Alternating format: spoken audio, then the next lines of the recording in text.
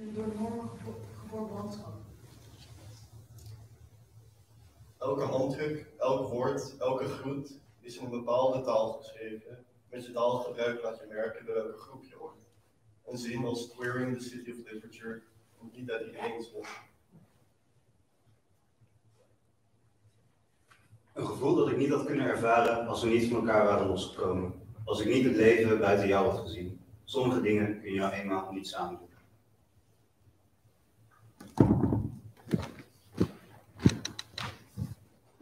Goedenavond iedereen.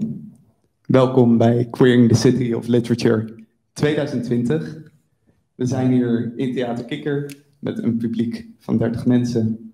Uh, maar er zijn nog veel meer mensen hier aanwezig. Dat voelt u misschien niet, maar dat zijn de kijkers thuis en de camera daar en de camera daar. Uh, dus we zijn met een hele grote fijne groep mensen hier vanavond. Mijn naam is Thijs. Uh, ik ben jullie presentator voor vanavond. Uh, ik zit ook in de organisatie van Queering the City of Literature.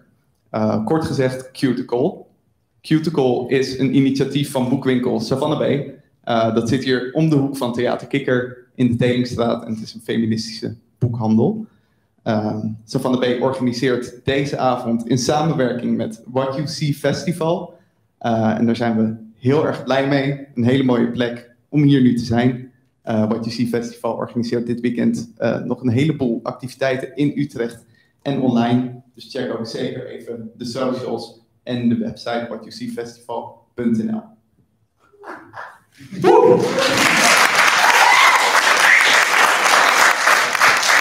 Vanavond zijn we hier voor Cuticle. Cuticle 2020 is de derde editie, derde jaar dat we dit doen. Uh, en het draait eigenlijk elke keer om de vraag: hoe maken we Utrecht een beetje meer queer op een literaire manier.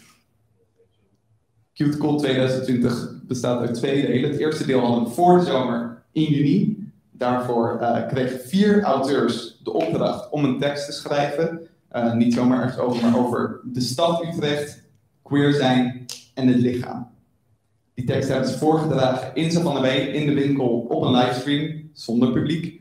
Um, ze zijn uh, met kaartjes met daarop fragmenten van hun teksten de stad ingegaan. En hebben zo de stad een beetje meer queer gemaakt met hun teksten. En ze zijn op de avond zelf ook met elkaar in discussie gegaan over dit project en hun ervaringen ermee. Nu zijn we in november en daar hebben we weer twee hele mooie componenten van Cuticle. Uh, het eerste is dat de wandelingen weer te doen zijn. Uh, door de stad zijn in samenwerking met What You See Festival weer kaartjes met fragmenten van de teksten opgehangen. U kunt die kaartjes zelf gaan opzoeken in de stad. Uh, online is een plattegrond te vinden en er zijn zelfs geleide wandelingen. Voor als u iets meer toelichting wilt bij de kaartjes. Kijk ook daarvoor online. En vanavond zijn we hier voor toch wel de klapper, echt het sluitstuk van Queering the City of Literature 2020 namelijk de presentatie van de zine. We zijn allemaal super trots. Deze teksten waren eerst al te horen, maar nu ook dadelijk te lezen. En daar zijn we echt super blij mee. Vanavond gaan we het eerste exemplaar uitreiken. Uh, het publiek krijgt een exemplaar mee naar huis. En voor iedereen thuis en ook iedereen die nu niet luistert, maar misschien later. Uh, vanaf nu is ook uh, de zine verkrijgbaar, exclusief verkrijgbaar bij boekhandel Savannah Bay. De zin is mooi vormgegeven door Jasmine Katlieg. Die zal vandaag ook wat vertellen over het proces van het maken van de zin. Maar zij is er helaas niet bij vandaag. Maar gelukkig hebben we een supermooi programma voor u. Uh, en niet in het minste wel de vier auteurs van Queering the City of Literature 2020. U hebt zo kort even gezien op video Caleb Batta. En hier achter mij zitten Welmoed Jonas, Roelof de Napel en Eden Carlo. Verder. U mag nog heel veel gaan klappen vanavond, want we hebben heel veel moois. Daarnaast hebben we ook nog muziek van Kopje Onder. En we eindigen de avond met een hele mooie voordracht van Anne-Chris van Doesburg.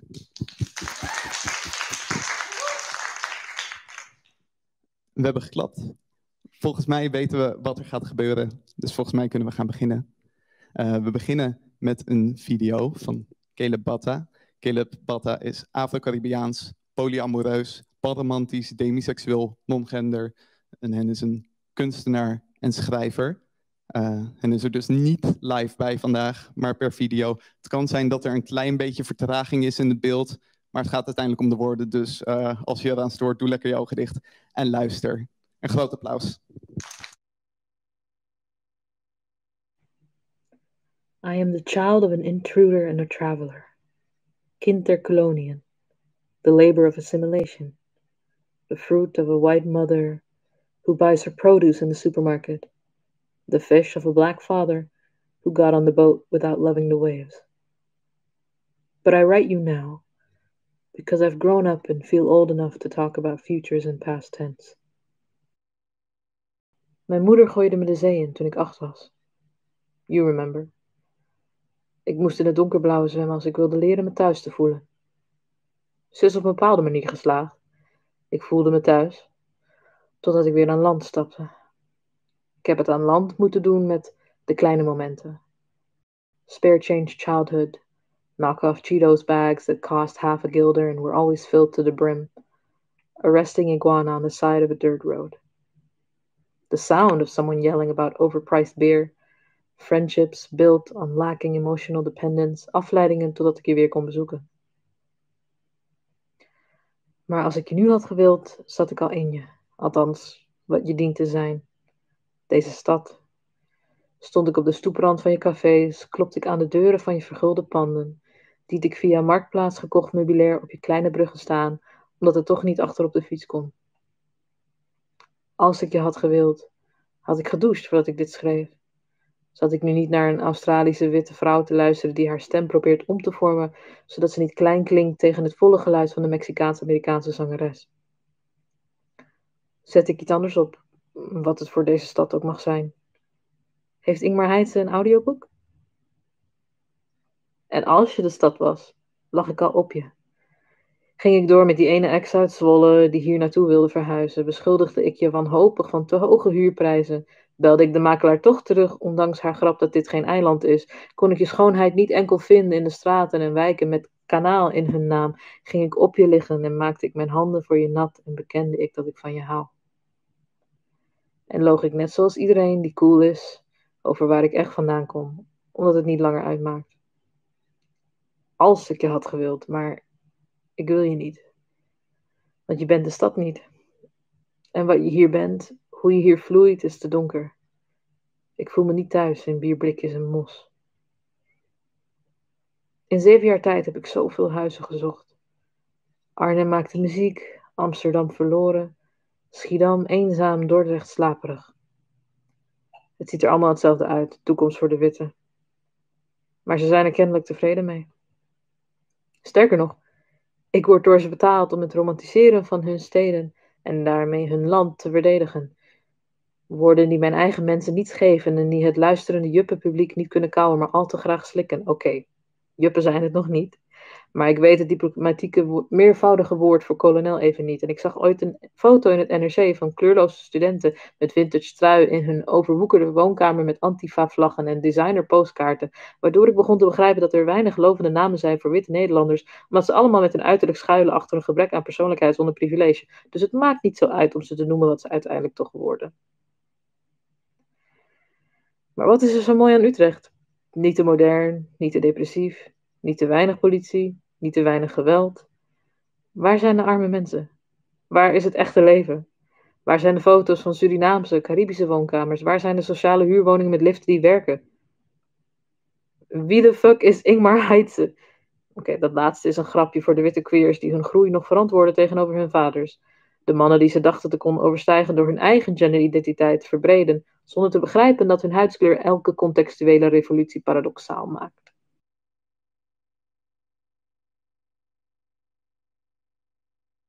Met, met het gevoel van thuis, met water, met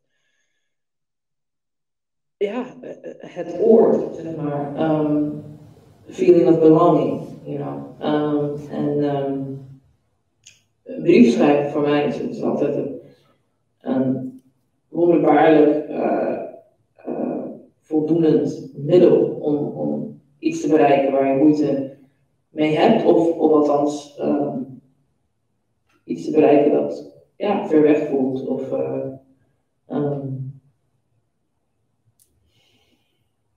gecompliceerd eh, om, om mee te praten. Of ja, te verwoorden eigenlijk. Ik denk dat ook een brief schrijven is letterlijk een wijze vinden om, om gevoelens te verwoorden. Die eigenlijk soms vaster voelt dan, dan ja, weet ik het, andere vorm van communicatie. Ehm, want wat je opschrijft, dat manifesteer je ook. Ehm, en dat kan in de negatieve context en de positieve context natuurlijk uh, uitpakken. Maar in dit geval was het voor mij volledig positief, uh, helend. Ik wilde praten met, met mijn thuis, met het gevoel van thuis, met het water uh, en met de stad ook deels. En ik wilde dat manifesteren, dat, dat gesprek, die energie. Dus ik dacht, ja, brief is de beste vorm daarin. Ja, I don't know if that makes sense. Um, en um, ja, in mijn stuk noem ik inderdaad meerdere steden, maar in dit specifieke, specifieke uh, stuk, uh, voor het project uiteraard, gaat het om Utrecht, uh, queer in Utrecht. En um, hoe zou ik het queeren van deze andere steden dan aanpakken op dezelfde manier als nu of heel anders? Is een goede vraag, want ik, ik heb niet zozeer de behoefte op, op steden zoals Arnhem of Schiedam of uh, wat was het meer Dordrecht, Amsterdam, uh, Amsterdam vrij queer als je, althans als je met andere steden in Nederland uiteraard. Maar, en als ik zeg queer, dan heb ik het even over hè, nog de paraplu term ten eerste voor LGBTQI+. Um, en communities ook, maar ook gewoon in terms of representativiteit. Hè? Want ja, desalniettemin is gewoon, blijft er zo'n gebrek aan representativiteit. Ja, een, een stad queer, het klinkt ook ergens bijna. Ja, het is dat ik niet wit ben, anders zou het ook gewoon niet veel klinken. Maar um, in hoeverre kan ik als één individu daar invloed op hebben? Ik voel vaak meer, ook deze brief, bij wijze van spreken, deze hele tekst, het hele ja, stuk is ook eigenlijk meer een, een, een, een reactie uh, op de realiteit. En niet per se een manifestatie van, of een herrecreatie van de realiteit. Uh, in bepaalde zin wel, in bepaalde zin niet natuurlijk. Het is actie-reactie, ja, dat snap ik. Um, ja, het is, het is complex, het is gecompliceerd. Maar of ik, of ik dat überhaupt zou doen bij andere steden, dat weet ik niet. Het, het feit is, ik woon in Utrecht en ik moet kunnen leven in Utrecht. En daar lag mijn focus. Maar um, ja, als ik hier niet was, zou ik ook niet over schrijven. Um, dat bedoel ik met het is een reactie op mijn omgeving. En hopelijk veroorzaakt de reactie weer een andere reactie vanuit de omgeving. En zo kan je het weer. Maar een city queer, het gaat eigenlijk om een soort, ja, bijna een soort, een soort macht. En niet in de negatieve zin. Power, strength. Maar wie heeft die macht?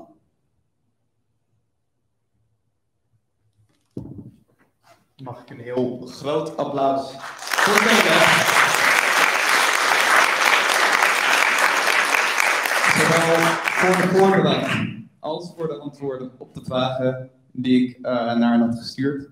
Uh, de volgende auteurs die gaan ook allemaal een stukje voordragen en daarna kom ik ook nog eventjes naar voren om ze nog één of twee vragen te stellen. Uh, de volgende auteur die aan de beurt is, is Boom Jonas. Hij studeerde culturele antropologie aan de UU en schrijft poëzie en proza met een sterke focus op identiteit. En is ook aanvoerder van Spread Flag Utrecht. Mag een groot applaus voor Boom Jonas.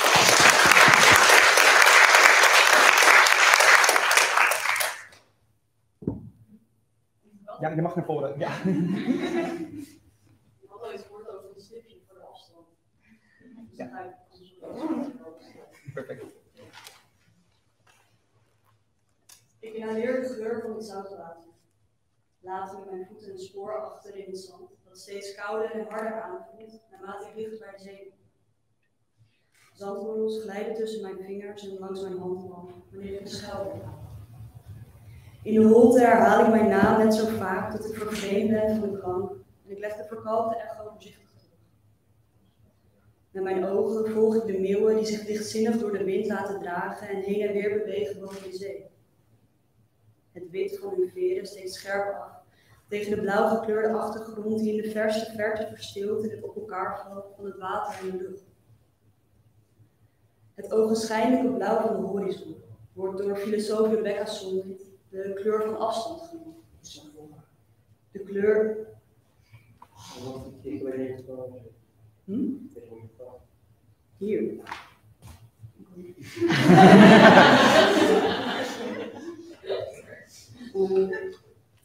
Het ogenschijnlijke blauw van de horizon wordt door filosoof Rebecca Solnit de kleur van afstand genoemd. De kleur van ver weg, omdat dit blauw enkel bestaat door de tussenkomst, tussenkomst van de eindeloze ruimte tussen het waarnemende zelf en het uiterste punt van zichtbaarheid. Blauw, zegt ze, is de kleur van het verlangen dat nooit bevredigd zal worden, omdat dit juist de onbereikbaarheid is die de verschijning ervan mogelijk maakt. Het ver weg, waarnaar we kijken, zal bij aankomst nooit blauw zijn. Mijn horizon en ik, voor altijd van elkaar gescheiden, door de beeldschone zee van het verlangen tussen ons in. Ik adem mee op de cadans van het omslaan van de golven. De onvatbaarheid van de zee overweldigt me. Wie ben ik tegenover de grootsheid van deze watermassa? Het overal aanwezige water dat zich vormt naar de ruimte die beschikbaar is en een stromende verbinding legt tussen het in verschillen opgebroken aardoppervlak. Het water dat continu in beweging is en altijd veranderd zal zijn wanneer ik het landschap betreed, maar toch ook hetzelfde blijft. De zee. De golven van de zee, die na het punt van breken rustig aanspoelen en zich weer terugtrekken, laten donkere kringen achter in de zand. De schelpen waarmee de kustlijn is bedekt, kraken onder het gewicht van mijn blote voeten wanneer ik de zee inloop. Het water likt zachtjes aan mijn tenen, trekt steeds een beetje zand onder mijn voeten vandaan, waardoor ik dieper de aarde in Ik kijk naar de weerspiegeling in het water dat rimpelt als huid door de jaren gedragen. Langzaam maar vastberaden kleed ik me aan. De wind streelt minzaam, door, de wind streelt minzaam over mijn naakte lichaam. Mijn tepels krimpen ineen en worden langzaam hard onder de lichte aanraking van de luchtstroom die langs mijn hals omhoog gaat de teder kust achter mijn oor. Mijn ademhaling versnelt. Het water trekt langs mijn benen omhoog, klotst tegen mijn buik wanneer ik steeds verder de onvoorspelbare diepte in. De kou bijt zich vast in mijn liezen, terwijl de zuigende kracht van de golven, eerst voorzichtig, maar steeds harder en sneller, tussen mijn benen stroomt en me ruw vastpakt bij mijn midden. Bij elke golf die kapot slaat tegen mijn lichaam, spet het water tegen mijn gezicht. Met mijn tong lik ik het zout om me Ik loop verder en verder tot mijn voeten de bodem niet meer kunnen vinden en ik langzaam omhoog vlieg. Volledig overgeleverd aan de stroming van de zee die me omhoog en omlaag, naar links en naar rechts. Mijn huid wordt langzaam transparant, waardoor ik de contouren van mijn lichaam niet meer kan onderscheiden van het water om me heen. Mijn ledematen lijken, mijn ledematen lijken zich van los te wegen deinen gewichtloos mee op, op het golvende water, waardoor ik niet meer voel waar ik ophoud met bestaan en waar de zee begint.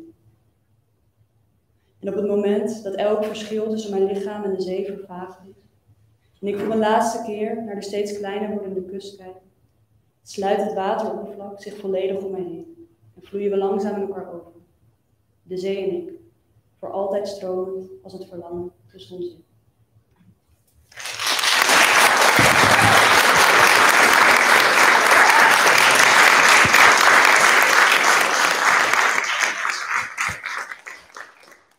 Je mag weer op de stip gaan staan. Ja. nee, dat snap ik ook. Dat neemt niemand je kwalijk, volgens mij. Ik heb uh, heel erg genoten van je voordracht weer. Supermooi. Um, de eerste vraag die ik wil stellen. Dit project heet natuurlijk Queering the City of Literature. Uh, en een heel groot stuk van je tekst speelt zich af op het strand. Waar komt die keuze vandaan? Kun je daar iets over vertellen?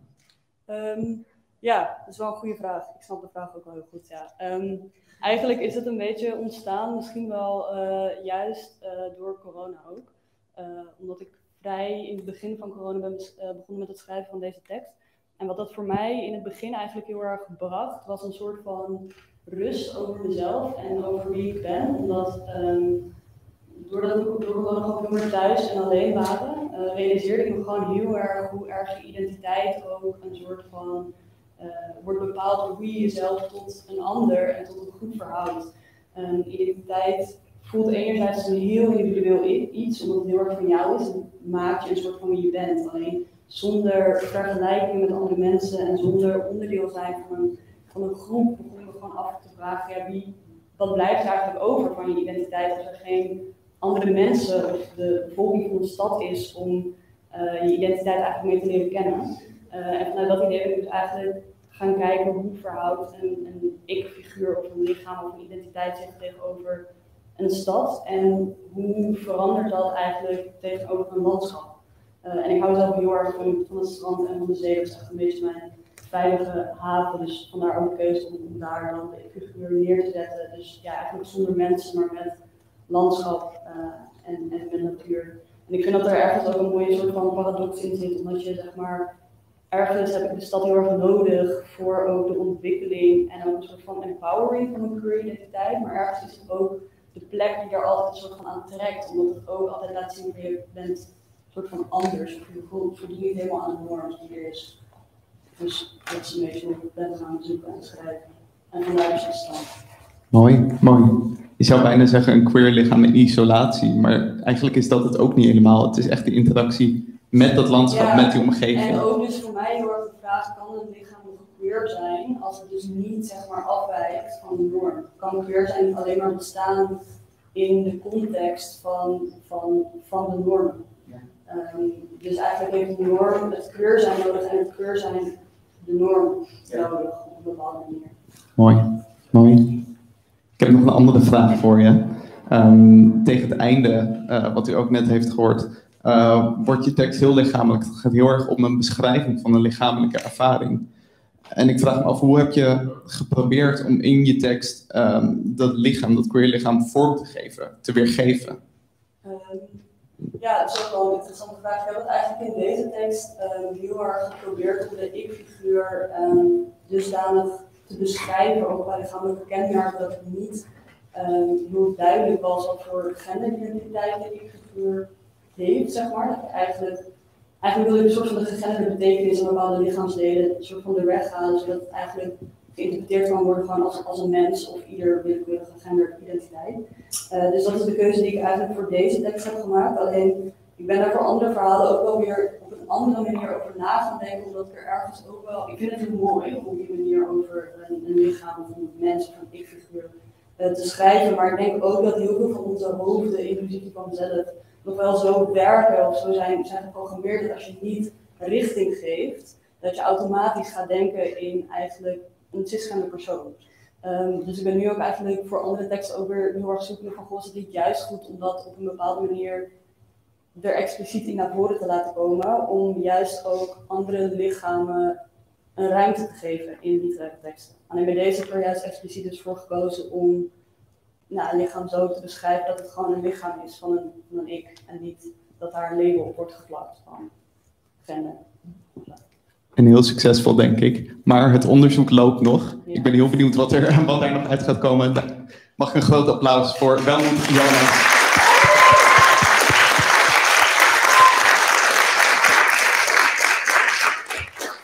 Ik wil heel eventjes checken in de zaal, maar ook met de techniek. Is alles goed te verstaan, ook op de livestream en zo? Zit dat allemaal goed? Ja? Nog keer? Is goed. Ik blijf hier staan. gaan we.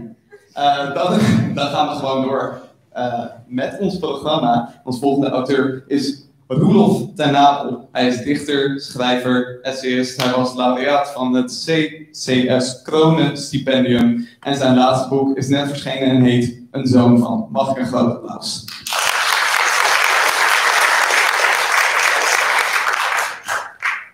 Dit is beter dan ik voor jullie ook.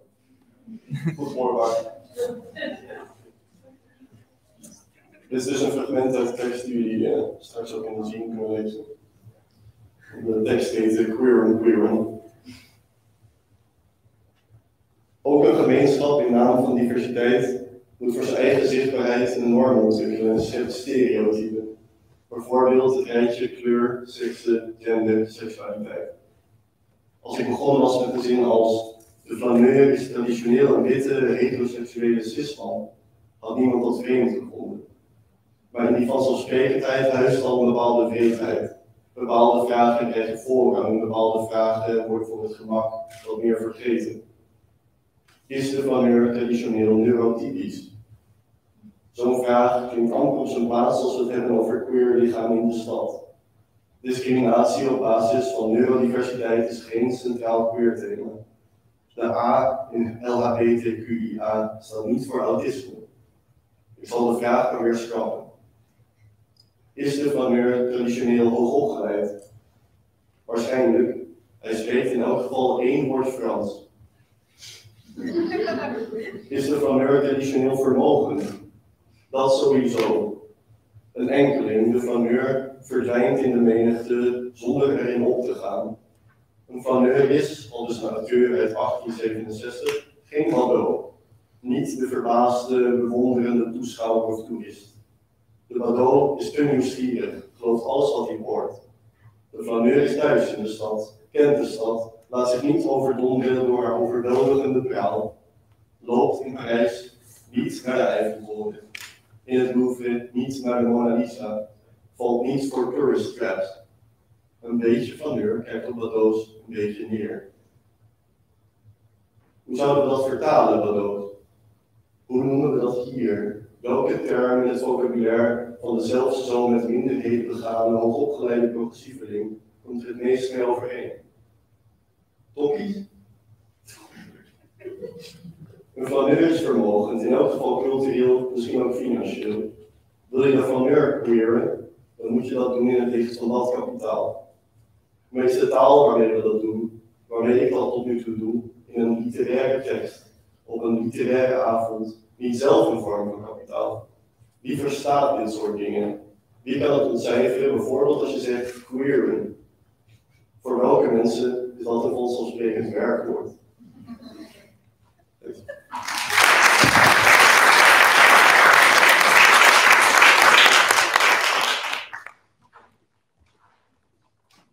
Prikkelende tekst. Open. Zeker. Ik vraag me heel erg af, eh, in de drie edities van the City of Literature tot nu toe, eh, is er nog niet eerder een essay geschreven. Eh, dus je hebt een primeur. Waarom heb je ervoor gekozen om een essay te schrijven en niet bijvoorbeeld een proza of poëzietekst? Ik vond het grappig toen ik die vraag voorstelde, ik ben begonnen met een lang gedicht. Ehm, en dat ging min of meer hetzelfde, alleen stelliger en bozer. En toen het soort van de helft was, dacht ik, ja, volgens mij. eh, het is heel lekker om een soort van, zeker in een soort polemisch of uh, uh, protesterig gedicht, die, die emoties ontvieren. Maar ik had ook het idee dat dat dan misschien te veel voor mezelf deed. Dat ik dan zelf heel erg uh, opgelucht ben en zeg, ah, ik heb uh, alles gezegd wat ik zou willen zeggen. Of ik heb, uh, ik het als een soort Luther aan de deur gespijkerd. maar ik weet niet of dat, of die benadering waarbij je heel boos bent altijd heel erg goed werkt om mensen te laten luisteren naar wat je zegt. dus ik denk dat, dat een essay misschien iets toegankelijker is soms om mensen mee te laten gaan in je gedachtegang in plaats van alleen als een soort slachtoffer aan te horen. Dat, dat ik daarom tevreden was met de omschrijving van het gedicht naar NSC. Denk je dat er ook nog een gedicht in zit? Of is dit niet het materiaal ervoor? Of in ieder geval niet de keuze die je nu hebt gemaakt? Nou, misschien niet één gedicht. Misschien zou ik het opsplitsen. Maar niet, niet één groot uh, soort protestsong. Nee. Dat wordt hem niet. Oké, okay, duidelijk, duidelijk. Um, een volgende vraag. Uh, je zet in je stuk de flaneur uh, af tegen de Bado, die minder cultureel kapitaal heeft dan de flaneur. Um, moeten we in de literatuur en in het nadenken, in het queer denken, meer ruimte maken voor de Bado? En waarom dan en hoe dan? Hoe zie je dat voor je? Ja, ik denk dat, dat het moeilijkste aan dat idee van ruimte maken, is dat, dat uh, het probleem dat ik in mijn tekst denk ik behandel, is dat precies de manier waarop we ruimte maken sommige mensen uitsluiten. Dus de manier waarop we taal ontwikkelen om inclusiever te zijn, uh, schept ook een taal die niet voor iedereen beschikbaar is. Dus, uh, in, in, in, volgens mij de huidige context is dat vaak een hoogopgeleide taal of een, een taal die weinig klassenbewust is. Ik Nederlands uh, links-progressieve weinig klassenbewust zijn soms. En de vraag is of je dat simpelweg kunt uitbreiden met bijvoorbeeld nog meer woorden. Want woorden zijn precies deels het probleem. Dus de, de, de geest die spreekt uit, moeten we ruimte maken voor de beloon. Daar, wil ik heel graag ja op zeggen. Maar misschien is ruimte maken het probleem. Misschien is het probleem dat we inclusiviteit denken als een groep die allemaal uh, door dezelfde deur kan. Ja, het, het, gaat eerder om het bevragen van manieren waarop we al bezig zijn inclusief te zijn dan nog inclusiever zijn. Dan komen we ergens. Dat is het begin. Mogelijk. Of, of het einde, of het, ik weet het niet, maar het zal handig zijn. Daarvoor is het een essay. We mogen nog lekker verder nadenken en lekker verder proberen. Zeker. Yes. Een groot applaus voor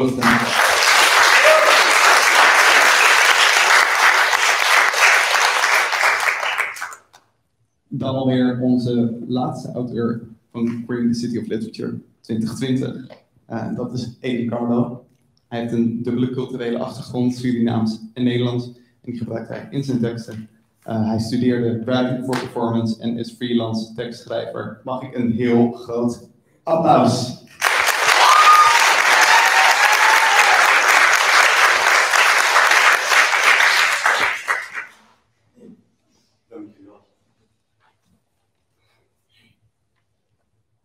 In jouw groeispurt zag ik toekomstige littekens zichtbaarder worden, opzwellend als onderhuidse angsten zonder uitlaatklep. In plaats van me te verzoenen met jou, bracht ik het grootste gedeelte van de tijd buiten ons hart door. Ik dacht eigenlijk dat ik steeds korte uitstapjes maakte, stedentrips, een soort zelfcare. Maar in feite was ik nog voordat ik thuis was alweer weg. Want thuis, daar was jij, steeds harder roepend naar mij, die zich voorbij de buitenwijken van ons niet nog een diepe gaan leek. Zo overvol met hun ogen dat er mogelijk ruimte kon zijn voor mij. Het kon niet anders dan dat ook deze ruimte ontgroeid was, dus ik vervolgde mijn reis. Ik verkende zeeën en, en aborda's en liet me verdrinken in magische werelden met ruimte voor elke fantasie. Overleving door mezelf vast te klampen aan de ruggen van Nymphania's, want zij die mij langs hebben gedragen, rijden al op Nymphania. Zij die mij vers brachten verdwenen, omdat ik zelf weer zwem in open water. Maar na al mijn weg zijn, was ik niet verder gekomen dan waterstappen. Een vermoeiende constante. Een imploderend vacuüm waarin ik al moet verdrinken, zal verdrinken, me laat verdrinken, omdat vrijheid het einde van vechten is.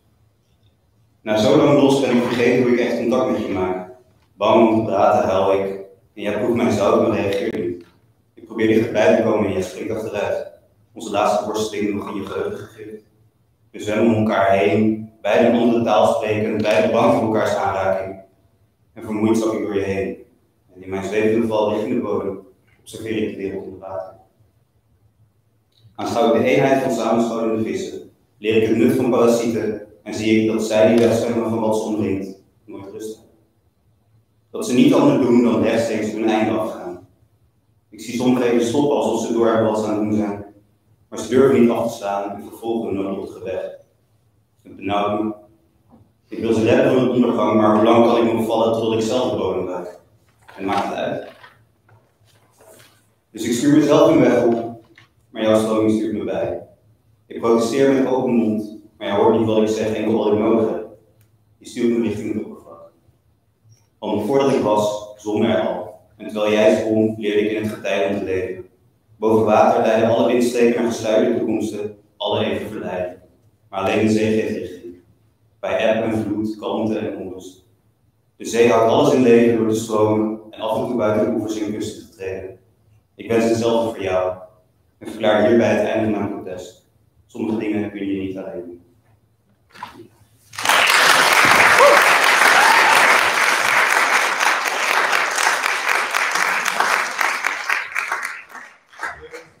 Rustig aan bij ballen uit. Ik word elke keer weer getroffen door hoe mooi open en kwetsbaar die tekst is. Dat vind ik echt heel tof, nog steeds hier aan. Ehm, en ik vraag me heel erg af, ehm, waarom heb je deze super persoonlijke ingang gekozen? Waarom is dat belangrijk voor jou in het nadenken over queering the city of literature?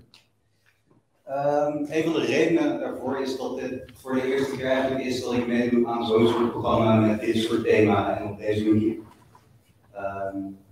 Dus wilde ik het een beetje dicht bij mezelf houden. Ja, sorry, ik doe dat dan wel omdat het eh, ervoor zorgt dat ik me moet verhouden tot het thema. En eh, dat ik daar een bepaalde zoektocht kan zetten of inzetten die volgens mij, waarvan ik niet de enige ben die maakt. Ehm, en ik denk dat het open zijn in je zoektocht er ergens ook voor kan zorgen dat andere mensen zichzelf erin herkennen en er misschien iets aan hebben. Dat hoop ik. Ik heb er geval iets aan gehad en dat is voor mij wel genoeg. En zo is het. Het is heel mooi. Rustig. Het zit helemaal goed. Ehm, in jullie tekst richt je je ook direct tot de stad. En je gebruikt ook bewoordingen als ons ik en ons centrum. Ehm, voel je zo vereenzelvigd met die stad? Waar, zit dat in? Eh, ja, ik, heb een beetje onderzoek gedaan naar, voor mij is eh, een stad bijna gelijk aan een lichaam. Als in een stad heeft een centrum zoals een lichaam ook heeft, een stad heeft een hart zoals een lichaam ook heeft.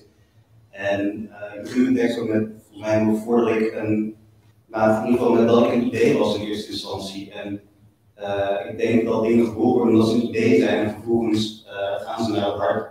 En nou, met het maken van een kind moet dat wel naar een hart, maar het punt is dat een idee moet liefde krijgen om vervolgens ruimte te krijgen om te kunnen groeien. En ik denk dat dat met steeds zo is van de kinderen. Um, en wat er vervolgens gebeurt eigenlijk is uh, steden groeien, zoals lichamen ook groeien. En um, er zitten verwachtingen aan. Er zitten verwachtingen aan hoe een stad moet zijn, er zitten verwachtingen aan hoe een kind moet zijn, er zitten verwachtingen aan hoe je lichaam is. En het idee is eigenlijk op het moment dat je geboren wordt in de stad, dan is dat je thuis. Net zoals je ervan uitgaat dat op het moment dat je geboren wordt in het lichaam, dat je thuis is. Um, op het moment dat je stad niet als een thuis voelt, dan ga je op zoek, weet dan ga je stedentrips doen, dan ga je kijken naar, je gaat ergens anders op zoek naar je thuis. En op het moment dat je lichaam niet je thuis is, dan doe je eigenlijk hetzelfde. Dan ga je dat geluk ga je zoeken in andere lichamen, andere dingen. Um, en het fijne van een stad is dat je uh, kan verhuizen en ergens anders je geluk kan vinden. En dat is het dan. Uh, maar je kan niet heel lang verwijderd blijven van je eigen lichaam. Dus daar moet je naar terug. En um, zoals je van je eigen lichaam je thuis zou kunnen maken, zou je dat volgens mij ook je thuis kunnen maken in een stad die je verder eigenlijk niet zo aanstaat. Um, en ik denk dat dat de zoektocht is die ik een beetje heb proberen uh, te maken hierin. Ik had het veel beter voorbereid, maar dit is waar het neer Je kan niet verwijderd blijven van je eigen lichaam. Nee, nee. Heel mooi. Ook als je dat wel doet, het kan een tijdje. Je kan echt je kan op zoek gaan en je kan alles doen wat je wil, maar uiteindelijk moet je terug, zeg maar. Je kan niet heel lang het geluk buiten jezelf zoeken, je moet, je moet terug. En dat over schrijven. Ja, en dat over schrijven. Dankjewel. Heel graag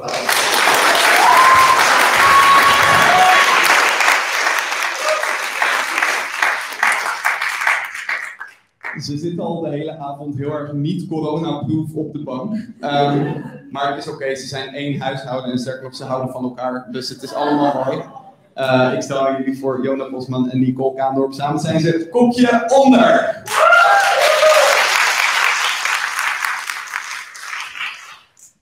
Hallo.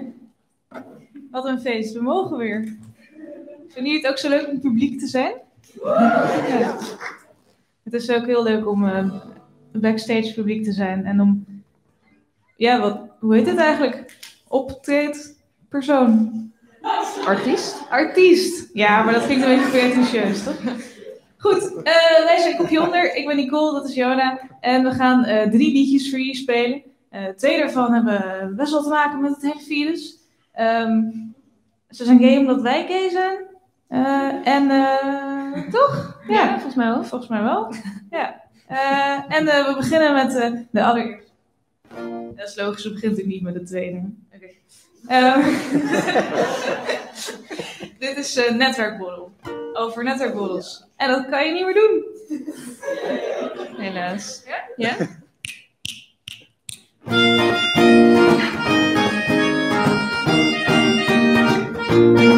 Ben op een netwerkborrel met mooiste kleren aan. Ben op een netwerkborrel, want ik wil niet baan. Ben op een netwerkborrel, hey, wil je vakantie? Ben op een netwerkborrel, dan worden we maatjes.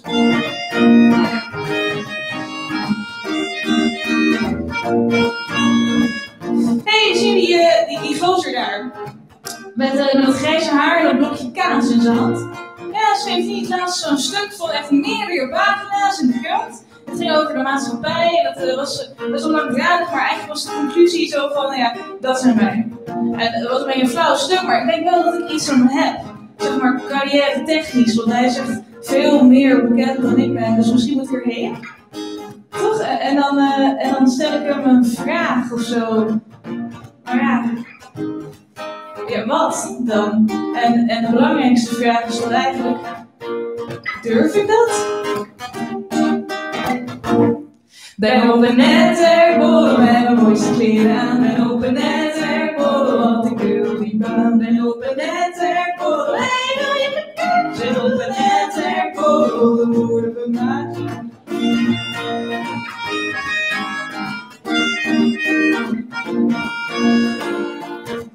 Ik wil collega's met jou zijn. Vind je dat niet fijn? Ik kan goed koffie zetten hoor bij jou op kantoor. Neem een zak deel mee Ik stel een plan hier op jouw bureau. Omdat ik je zo waardeer. Zal ik dat zeggen? Tegen die ene?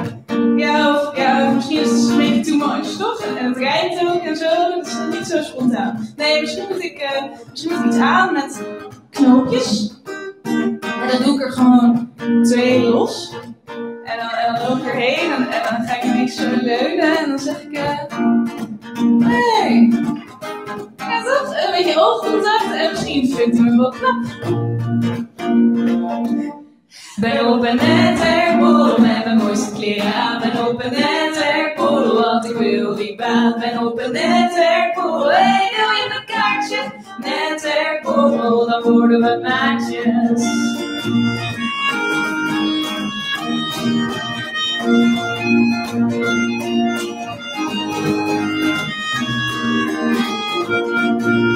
Ja,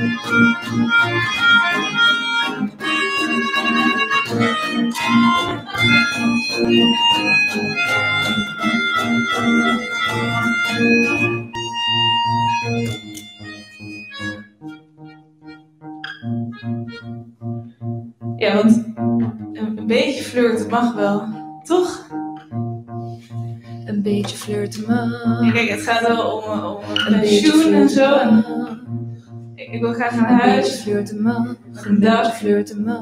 Een En, beetje eh, flirten mag. Een beetje flirten mag. het Een beetje flirten mag. Een beetje flirten mag. kijk, zoveel plekken zijn er niet op de arbeidsmarkt.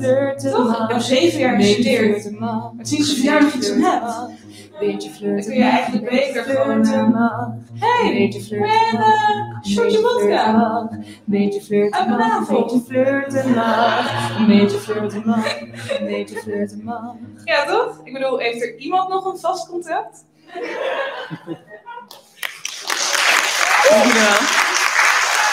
Dank jullie wel. Dank jullie zijn het leukste publiek van de afgelopen drie maanden. Zonder twijfel. Het, eh, het tweede liedje, waar we dus niet mee begonnen, is eigenlijk weer een gedicht. Dus ik doe een stapje naar achter en het woord is aan Nicole en de gitaar is aan mij. Dank u. Dit, eh, dit is eh, een oud nummer dat opeens toepasselijk is geworden. Het, eh, het is een gedicht en het gaat over alles wat ik wil. Zo heet het ook. Dit is een gedicht over alles wat ik wil. Ik schrijf in het hokje van de pont naar Amsterdam-Noord en ik wil dat die pont precies komt wanneer ik in het hokje sta. Behalve wanneer het niet regent. Dan kan ik best even wachten. Liefst met lege batterij naar het water kijken, zodat ik weer kan denken: kijk nou, een eend.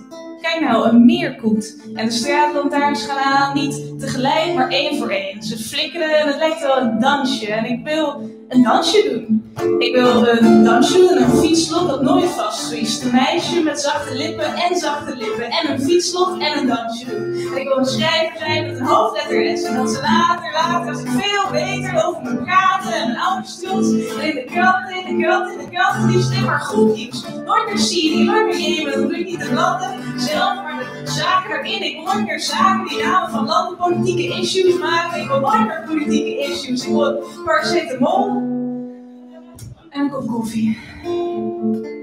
En ik wil liggen, thuis in bed liggen en dat er aan twee kanten van mijn bed ruimte is om op te staan. Ik wil ruimte voor minder dan duizend per maand. Maar ja, de expats en de huisjesmelkers, ik hoef niet te wonen in een koe. Ik wil gewoon ergens naartoe waar er geen mensen zijn. Want die zijn overal. Ze lopen over alle zebrapaden. Ze zitten op de terrasjes. Alle terrasjes de hele tijd in de weg. Weg, weg, weg, weg, weg, weg. Maar iedereen mag er zijn. Begrijp niet verkeerd, maar begrijp me. Begrijp me. Een heup, een arm, een pols. Duwen tegen de muur. En dan maar alleen weet dat ik dat wil. Dat ik wil. Dat wil ik. En ik wil daken om op te staan. Zodat ik neer kan kijken op vogels. Die neerkijken op straten vol mensen. En ik wil ze aankijken en ik, ik wil het met ze hebben over wat zij eigenlijk allemaal willen. Over een biertje. En nog een biertje. En nog een biertje. En nog een biertje. En nog een biertje. Of vooruit. Een witte wijn. En ik wil Franse muziek. Keihard op de luidspreker. Keihard. Keihard. Hard nog, nog harder.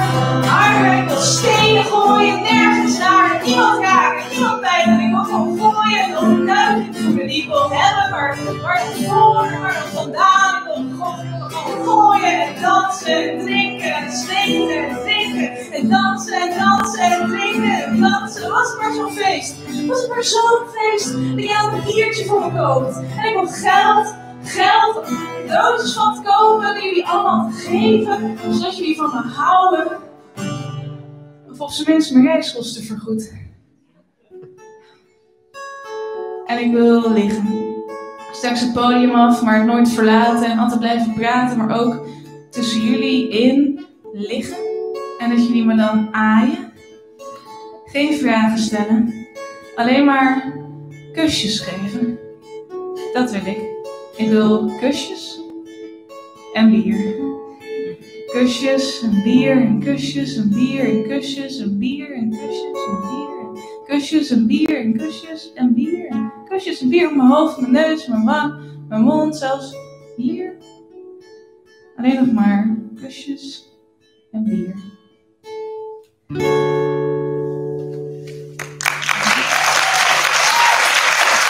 Dank jullie wel.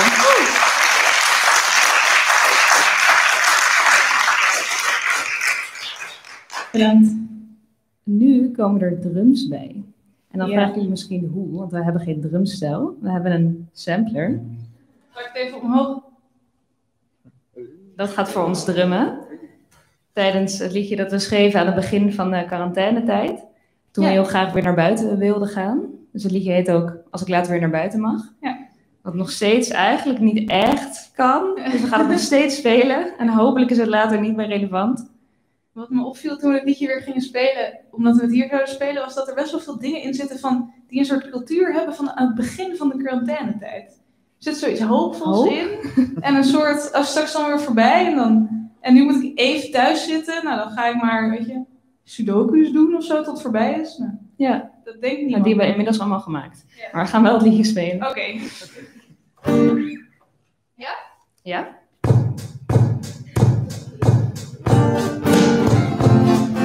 zit hier nu wel dagen binnen. En ik had er best wel zin in, al die tijd voor mezelf. Eindelijk weer wat Frans leren of beginnen in idioms. Kan sorteren op alfabet, een plant verpotten of ik doe een keer echt alles. Maar zelfs het olieverfportret komt er niet van. En mijn duizend stukken puzzel is nog lang niet af. Ik zit in pyjama op de bank. En ik kijk aflevering na aflevering op Netflix. Terug van mijn teamvakken vaststaan. Omdat ik iedereen zo mis. Maar ik sta heel alleen in de zon. Te hoesten op mijn eigen balkon. En ik. Later, later.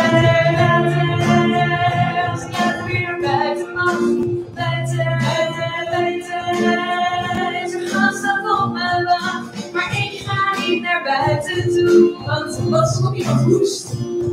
Nee, ik ga niet naar buiten toe. Zijn dingen was mijn. Dat is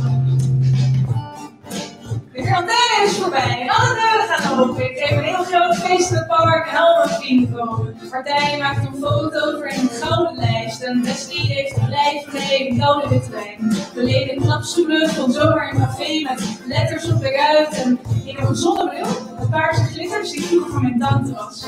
Die ene kent de tekst niet, dus ze zingt maar wat woorden mee. Een bingo in het gras, ik weet niet wie er wint, ik heb zee. En ik kijk hoe alles steeds opnieuw begint. Maar ik sta heel alleen in de zon, de woest op mijn balkon en ik zing. En ik sta heel alleen, sorry. Nee, echt fout. Ja?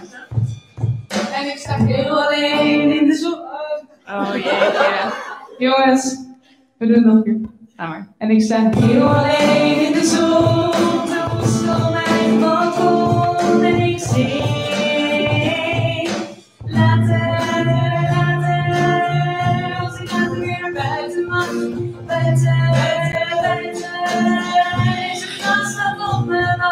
Maar ik ga niet naar buiten toe, want wat kom je van hoest?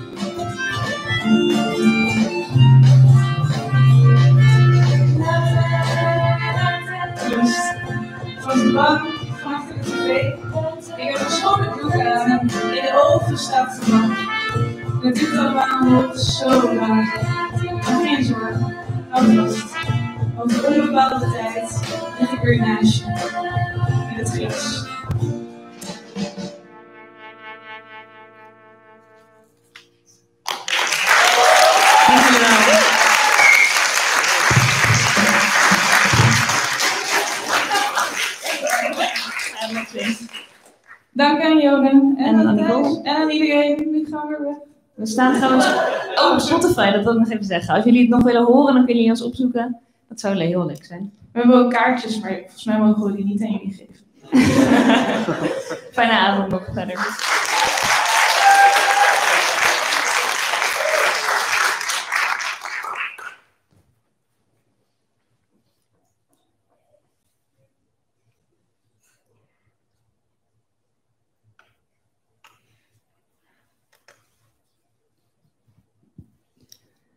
Interieur Theater Kikker.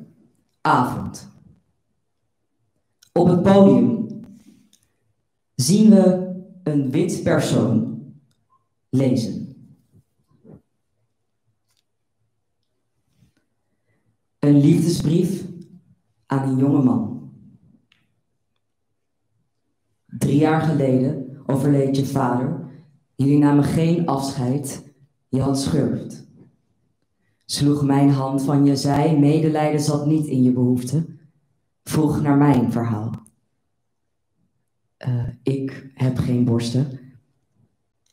Jij geen woorden, houdt me heel lang vast, de muziek in de club verdwijnt.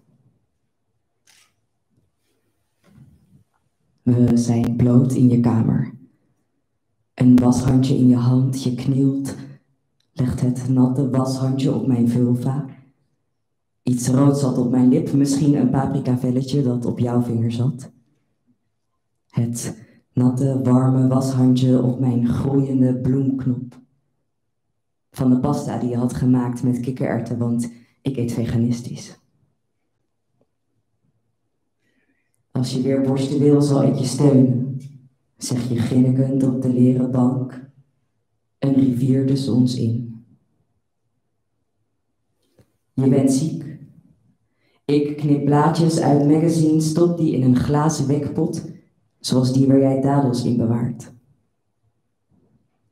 Trappend in zweet, op mijn ronde, zachte pillen op mama's oude racefiets.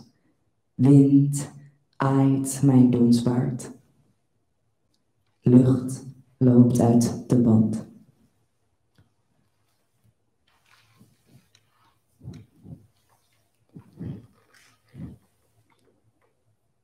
De band is zacht. Je glimlacht naar mijn bange ogen. kust mijn donsbaard. Mijn donsbaard. Je moet en zal de racefiets maken. Je maakt mijn racefiets. Ik lees je soms alsof je een tekst bent. En je zegt: Ik heb de meisjes opgehangen op mijn prikbord. En de borsten gecensureerd met de zinnen die je hebt toegestuurd. Ik bekijk jouw prikbord. Het zijn de plaatjes uit de wekpot. Plantbladeren, de jouw hanger verschrompeld bij. Anna Boleman. Maar ik houd van je buikje onder je haardeken. Pak je kibbeling met saus. Je zei dat ik ontwapenend was bij de visboer. Zwart-witte lippen. De vinger van een goddelijke jongen tegen de vinger van een goddelijke man. Ben ik dan homo, zei je? Een roze middelvinger. Ah, jij op mijn vloerkleed in je oranje kooltrui. Op je hoofd de woorden filosofie en geschiedenis. Kikkers onder water. Zomerse stenen aan een oceaanblauwe zee. Half blote meisjes. Een blonde die spierwitte tanden bloot lag tegen de neus van een paard. Op haar vol ronde borsten het woord Groningen. Een bruin gekrulde aan een sportapparaat.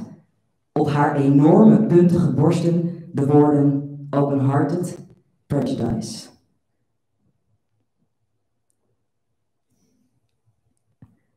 Ik trek je af in het avonddonker. Kus bekijk je gezicht. Een walm van hitte overvalt me, trekt vanuit mijn tenen door mijn lijf verzucht. Soms mis ik zo wat ik in je mis. Maar streel je gesloten ogen, je lieve neus, je snoer zacht.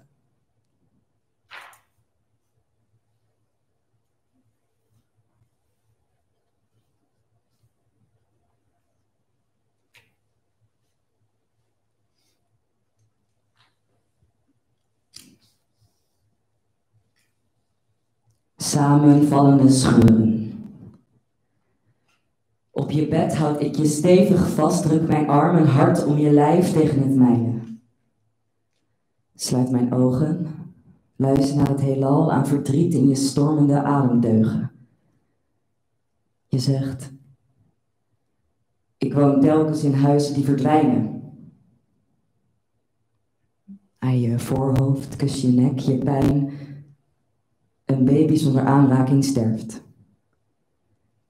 Je zegt, dit huis zal ook verdwijnen. Aan je arm, je dijenbeen, graaf me tussen je golvende schouderbladen. Je streelt me door mijn vochtige denim spijkerbroek. Ik leg je op je rug, houd je benen omhoog, beweeg mijn vulva, mijn vulva bonkend tegen je binnen. Penetreer je, ga naast je liggen, vibreer mij. Kom voor het eerst bij jou klaar. Laat je binnen in mijn legen. Op jou ligt mijn huis, op mijn rug jouw armen.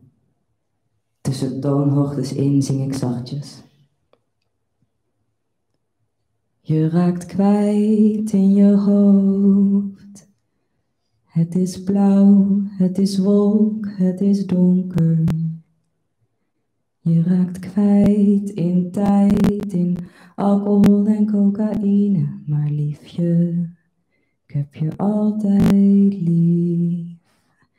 Je wilt weer alleen zijn, zeg je. Ik laat 15 euro pasta boodschappen achter waarvan ik wist dat je ze heerlijk zou vinden. Het is voorbij achten. Ik heb je uren vastgehouden. Zweet, trappend, fiets ik naar thuis, klappen de tranen op mijn vloerkleed. Sommige dagen kan ik je dragen.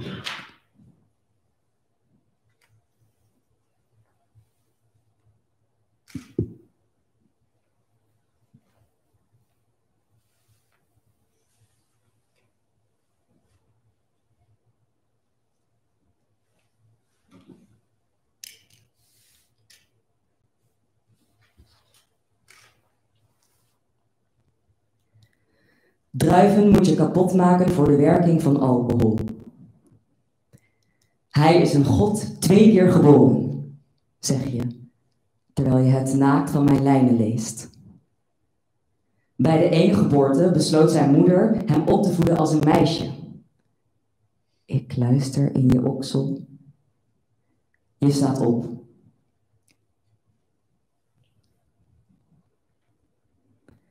Bij de andere geboorte is zijn moeder uit elkaar gerukt. Je weet niet of je mij aantrekkelijk zult blijven vinden. Zeus naaide hem aan zijn been waar hij verder groeide.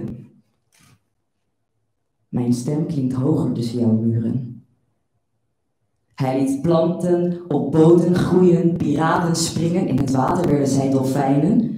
Hij had geitenhoorns op zijn hoofd, ging naar de onderwereld om zijn moeder terug te halen.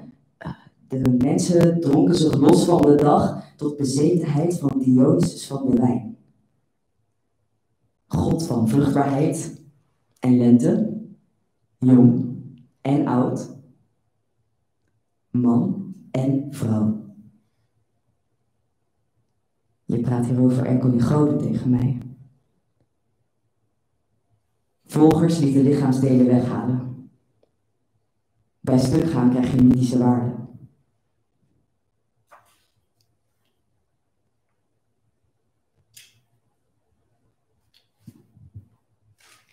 Interieur, theater, iets later op de avond. Op het podium zien we Annekris, een kort wit persoon met blonde ongewassen haren. Die is dankbaar voor Queer in the City of Literature. En leest hardop een citaat van apenstaartje Elliot Setta op Instagram. Indebted to the black trans females who led and continue to lead the way. Thank Wil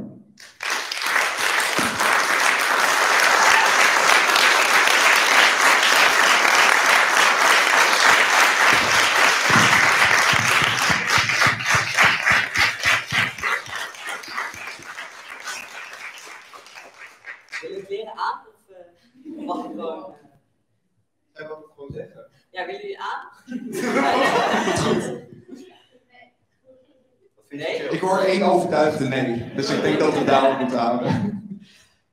U hoorde Anne-Chris van Doesburg. Anne-Chris wil graag prins Ariel zijn. Veranderde het badpak voor een speedo zwembroek. En wil zo jong mogelijk oud. En studeert writing for performance en toert in de voorstelling Boys Won't Be Boys. En Anne-Chris uh, staat hier niet zomaar. Je bent dankbaar voor Cuticle, zeg je, schrijf je. En ik uh, mag met trots aankondigen dat uh, Anneke de eerste officieel bevestigde auteur is van Cuticle 2021. Yeah.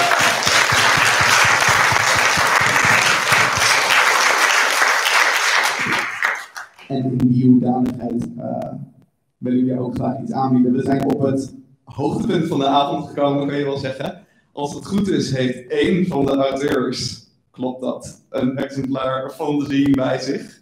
Nee, goed.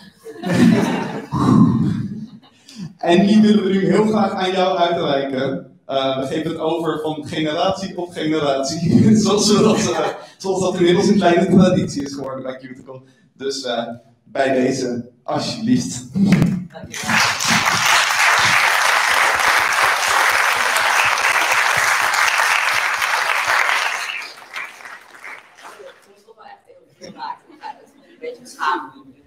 Je mag het gewoon zelf zeggen. Dat is het fijne.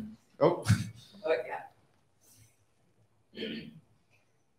daarmee zijn we ook aan het einde gekomen van deze avond. Ehm, deze avond is klaar, maar nog niet What You See Festival. What You See heeft nog heel veel te bieden, online en in de stad zelf. Zoals ik al een aantal keer heb gezegd, check de socials en de website. U kunt onder andere nog aan de wandel met ons, met onze auteurs. Eh, niet echt, maar een kaartjes hangen er. Eh, en dat is toch goed genoeg. Eh, en u kunt ook de zine kopen als u die nog niet heeft. In de zaal heeft u daar niks aan, dat snap ik ook. U heeft hem gewoon zo. Maar voor wie nog thuis zit en wie nu thuis zit te kijken en alle opa's en oma's en zo die dit ook heel graag willen. Voor 5 euro kunt u dit aanschaffen bij boekhandel Savannah B. Dan wil ik nog een aantal mensen bedanken. Als eerste een heel groot applaus voor de organisatie van What You See die het mogelijk heeft gemaakt dat we hier toch nog een keer met z'n allen zijn.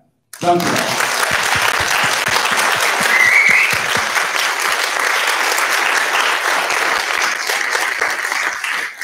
Onze dank uitspreken aan de fondsen die het mogelijk hebben gemaakt dat wij dit project op touw hebben gezet. Namelijk het Lira Fonds, het KV Heijn Fonds en het Edische Mathilde Fonds. Dank u wel.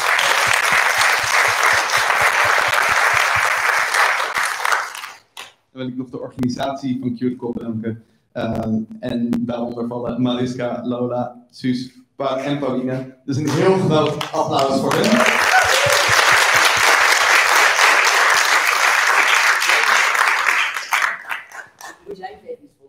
Ja, misschien wel. Hè?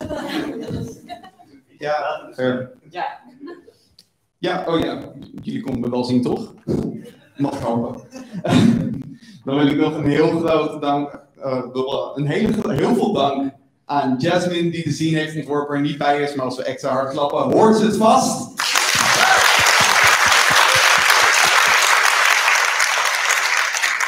Natuurlijk aan Kopje Onder en Anne Chris, zonder wie de avond niet compleet was geweest.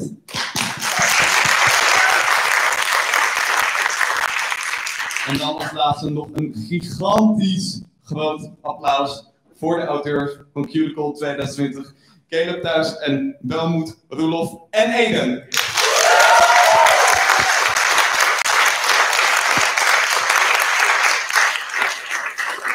Dat was het voor vanavond. We hebben genoeg geklapt. Sta lekker op, ga lekker naar huis of klap de laptop dicht als u thuis zit. Neem die zin mee, koop die zin en ga lekker lezen. Fijne avond.